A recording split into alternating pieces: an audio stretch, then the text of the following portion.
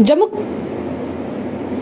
जम्मू कश्मीर में legislative assembly के चुनावों की प्रक्रिया लगभग समाप्ति पर है।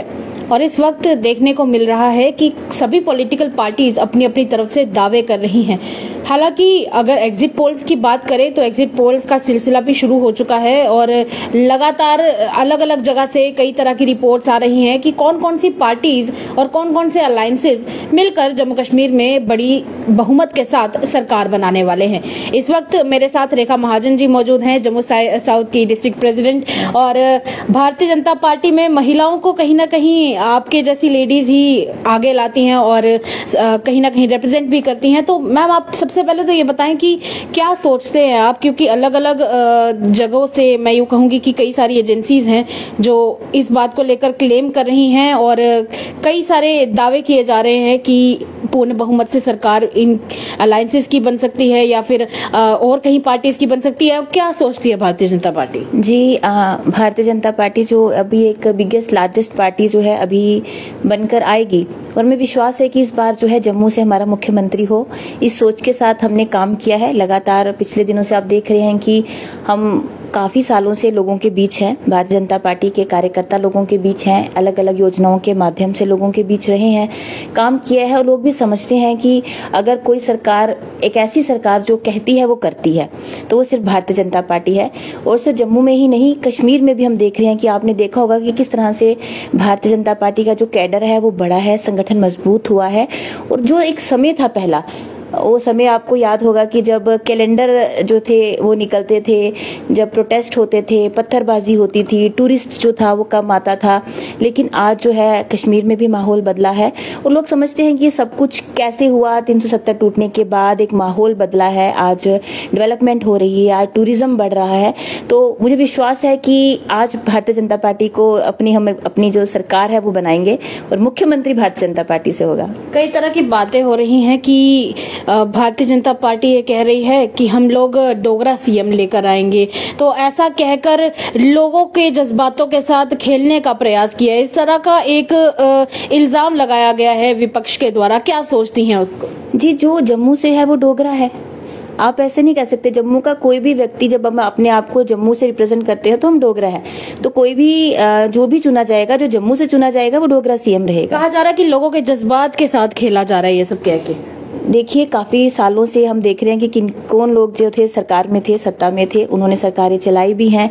और किस तरह का माहौल रहा, आपने देखा, कश्मीर में क्या माहौल रहा, जम्मू हमेशा निगलेक्ट हुआ। तो जम्मू को भी हक है अपनी बात रखने का, जम्मू के भी रिप्रेजेंटेटिव कभी ना कभी तो अगर हम उतने साल हमने उनको जो है लोगों ने मैंडेट दिया या वो रहे सरकार में तो अगर आज जम्मू का सीएम बने तो मुझे लगता है कि डोगरा को भी एक लगेगा कि उनकी भी रिप्रेजेंटेशन जो है, वो सरकार में है। अमित शाह जी आए हुए थे और मैनिफेस्टो रिलीज़ रिलीज़ करके गए यहाँ से और उन्होंने कहा कि 70 प्रतिशत गिरावट आई है आतंकवादी हमलों के मामले में। कांग्रेस अपनी तरफ़ से पिछले डेढ़ सौ से 200 दिनों का आंकड़ा दिखाती है और कहती है कि बताइए कहाँ पर गिरावट आई है। और अगर गिरावट आई भी है तो कहीं ना कहीं इस टेररिज्म को नॉर्मलाइज करने का प्रयास किया जा रहा है। और ये नॉर्मलाइज करने के प्रयास के बारे में कश्मीरी पंडित बात कर रहे हैं। क्या आपको लगता है कि सच में इस तरह की नॉर्मलसी की बात हो रही है। जी, बिल्कुल। आपको वो समय भी याद होगा जब क्रॉस बॉर्डर जो टेररिज्म था वो कितना ज़्यादा था। क्रॉस बॉर्डर जो फायरिंग रहती थी, एक समय था जब डिमांड की जाती थी कि कितने बंकर बनाए जाएँ। आज आपको वो जो बंकर हैं, वो वैसे के वैसे पड़े हैं। अब ये समझ नहीं आता है कि उसका क्या यूज़ किया जाए। तो एक चेंज आज के समय में काफ़ी सारा जो अमित शाह जी ने जिस तरह से कहा है कि आज काफ़ी गिरावट आई है, वो समय हम भूल नहीं सकते जब कश्मीरी लोगों को, अपने हमारी बहनों को, हमारे भाइयों को, अपने घर छोड़ के यहाँ पर आना पड़ा।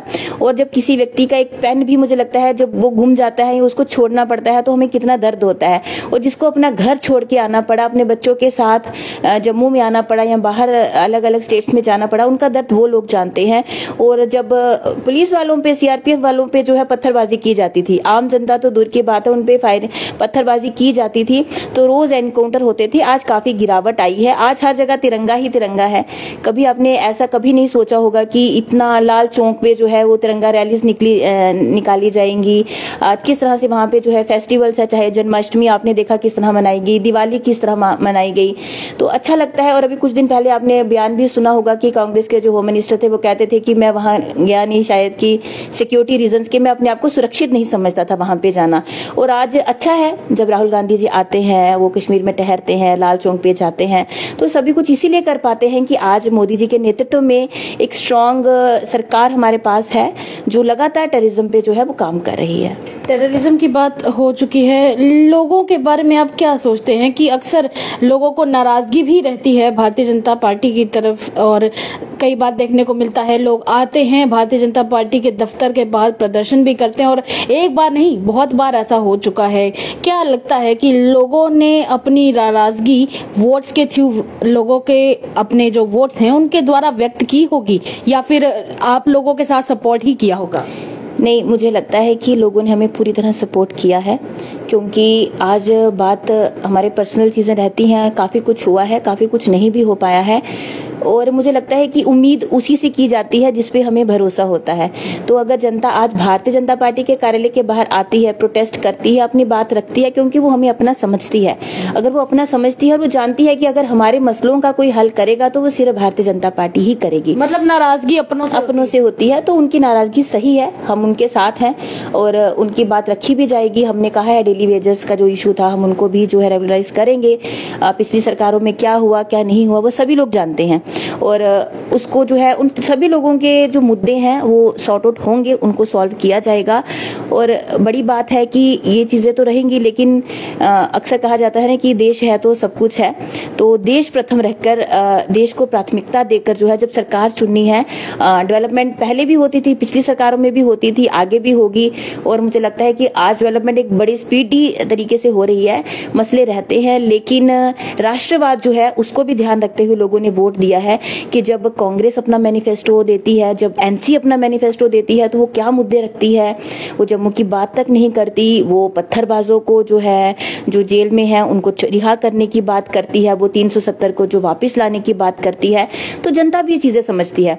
क्योंकि मैंने जो देखा है पर्सनली कि हम जितनी भी डेवलपमेंट कर लें, हम कितना भी काम कर लें, कितनी भी योजनाएँ ला लें और कितना हमने लोगों के बीच रहे हैं समय समय पर, चाहे वो कोविड के दौरान हो, चाहे वो बाद में अलग अलग योजनाएँ लोगों को पहुंचानी हो, चाहे वो आयुष्मान का कार्ड बनवाने हो, हमने जगह जगह पे कैंप लगवाए, भारतीय जनता पार्टी का कार्यकर्ता लोगों के बीच रहा।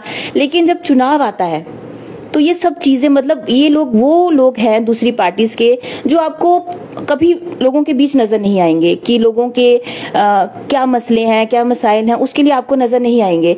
तब आपको भारतीय जनता पार्टी का कार्यकर्ता नज़र आएगा। लेकिन जब चुनाव आता है तो ये लोग सामने आते हैं और अलग तरह के मुद्दे लेकर जो है ये लोग सामने आते हैं। मुद्दों के मामलों में और भी सुनने को मिला कि भारतीय जनता पार्टी जम्मू के संभाग के जो भी लोग हैं उनके साथ कुछ और वादे कर रही है उनसे कुछ और बात कर रही है। और कश्मीर में जाकर ये लोग कुछ और बात कर रहे हैं। इस तरह की कुछ बातें कही गई है विपक्ष के द्वारा उस पर क्या जवाब जी ये बिल्कुल गलत है क्योंकि ये उनकी सोच है। क्योंकि अक्सर आपने ये देखा होगा कि जब फारूक अब्दुल्ला जी जब कश्मीर में होते हैं तो वो दूसरी स्टेटमेंट देते हैं और जब वो जम्मू आते हैं तो वो दूसरी स्टेटमेंट देते हैं। लेकिन आप मुझे अपने किसी भी लीडरशिप का आप बता दीजिए कि जिन्होंने जम्मू में कुछ और श्रीनगर में कुछ और कहा हो। क्योंकि हमारे प्रधानमंत्री नरेंद्र मोदी जी हमारे अमित शाह जी हमेशा जम्मू कश्मीर की ऑलराउंड डेवलपमेंट की बात करते हैं। ऐसा कभी नहीं हुआ कि जम्मू को कुछ दिया हो, कश्मीर को ना मिला हो। और कश्मीर को कुछ दिया हो, जम्मू को ना मिला हो। और ये पहली बार हुआ है। 370 टूटने के बाद यहाँ पे जो कुछ भी हुआ है, वो जम्मू और कश्मीर को दोनों को बराबर बराबर मिले। क्योंकि उन, उन्होंने हमें भी, हम एज ए कार्यकर्ता, वो हमें भी कहते हैं कि हमने हमेशा ये नहीं कहना है कि जम्मू को ये कम मिला, जम्मू को किसी चीज़ में कमी रही। लेकिन हमें कश्मीर को भी उतना मिलेगा, जम्मू को भी आज उसका हक मिला है, ये मैं कहना चाहती हूँ। आप अब आप बात करेंगे जितने भी लेजिस्लेटिव चुनाव की जो गिनती है, वो तो चलिए आठ तारीख को होगी, पर पाँच सीटों के नामांकन की बात सामने आ रही है, जिसमें देखने को मिला है कि दो सीट्स पावरफुल महिलाओं को दी जाएँगी। और अभी तक डिसाइड नहीं हो पाया है कि वो महिलाएँ कौन होंगी। क्या आपको लगता है कि पार्टी के हिसाब से किसको ये दिया जा सकता है और क्या डिसीज़न हो सकते हैं? देखिए ये आप तो कह नहीं सकते कि डिसाइड नहीं हुआ है क्योंकि मुझे लगता है कि भारतीय जनता पार्टी में क्या होना है ये काफ़ी देर पहले से डिसाइड हो गया होता है। अच्छा हो चुका हो। चुका होता तो है। जरा बताएँ कि कौन हो सकते हैं वो अब मैं इतनी मेरे पास इतनी अथॉरिटी नहीं है कि मैं इस बात को कर सकूँ कि कौन होगा। हमारी लीडरशिप है हमारा संगठन है क्योंकि फैसले वहाँ पे लिए जाते हैं। तो कौन होगा ये तो मुझे लगता है डिसाइड किया गया होगा। लेकिन जल्दी आपके सामने भी आ जाएगा। कौन होगा? कहाँ से होगा? तो जी जो इलेक्शंस आने वाले हैं तो उसमें आपको लगता है कि भारतीय जनता पार्टी का जो कमल है वो जम्मू संभाग और कश्मीर संभाग दोनों जगह खिलेगा? बिल्कुल कमल खिलेगा और अच्छी सीटें हम जीत कर आएँगे। पैंतीस से चालीस सीटें हम जीतेंगे। अलायंस के बारे में कहा जा रहा है कि हो सकता है कश्मीर में अलायंस जो है वो अपना हाथ जो है वो लेकर आए। हाथ और हल दोनों साथ में आएँगे। कश्मीर में भारतीय जनता पार्टी भी जो है इस बार कमल खिलाएगी और काफ़ी सारे वहाँ पे भी हमारे कैंडिडेट जीत कर आएँगे। और मुझे लगता नहीं है कि इतना अलायंस इनका काम करेगा। एनसी लेगी कुछ सीटें एनसी तीस से पैंतीस तक हो सकता है सीटें ले, लेकिन कांग्रेस दो या चार सीटों से अधिक, चार या पाँच से अधिक नज़र नहीं आ रहा। तो अलायंस आप समझ सकते हैं कि कांग्रेस की आज क्या स्थिति है। बाकी सभी पार्टी जो है, चाहे वो अपनी पार्टी है, हमारी बुखारी जी की पार्टी है, हमारे सज्जाद जी की पार्टी है, चाहे इंजीनियर रशीद की, सभी मुझे लगता है कि दो या दो तीन दो तीन करके इंडिपेंडेंट भी चार से पाँच इंडिपेंडेंट हो सकते हैं। तो अलायंस कितना काम करेगा, ये भी दो दिन तक पता चल जाएगा। पर भारतीय जनता पार्टी मुझे लगता है कि जिस तरह से लगातार हमने जम्मू में काम किया है, कश्मीर में काम किया है, एक राष्ट्रवादी पार्टी है, लगातार लोगों के बीच भी रहती है और केंद्र में हमारी सरकार है। और मोदी जी लगातार जिस तरह से जम्मू की बात करते हैं, श्रीनगर की बात करते हैं, और जिन मुद्दों पे लोगों को भड़का रहे थे गलत धारणा फैला रहे थे कि धारा 370 हटेगा, हम वापस करेंगे, वो कभी हो नहीं सकता। और लोगों को ये बलगवाते हैं कि हम जो है, आने वाले समय में जम्मू को स्टेटहुड देंगे। तो मुझे लगता है कि गलत है, क्योंकि अमित शाह जी खुद कह चुके हैं, पार्लियामेंट में कह चुके हैं कि जम्मू कश्मीर को जो है, वापिस स्टेट बनाया जाएगा। और इवन की मोदी जी कह चुके हैं बार बार जब भी आते हैं, वो यही बात करते हैं हैं। लेकिन इन्हीं चीज़ों को वापस लोगों के बीच में वही चीज़ करना, ये कहीं ना कहीं इनकी आदत है, ये करते हैं। पर भारतीय जनता पार्टी हमारी सरकार बनेगी, आठ तारीख को अपना हमारा मुख्यमंत्री बनेगा। इसी सोच के साथ हम इंतज़ार कर रहे हैं जश्न मनाने का। जी। चलिए बहुत बहुत शुक्रिया रेखा जी बातचीत करने के लिए। तो ये थे मेरे साथ रेखा महाजन, जिन्होंने कहा है कि भारतीय जनता पार्टी का कमल जम्मू संभाग में क्या, कश्मीर संभाग में भी खिलेगा।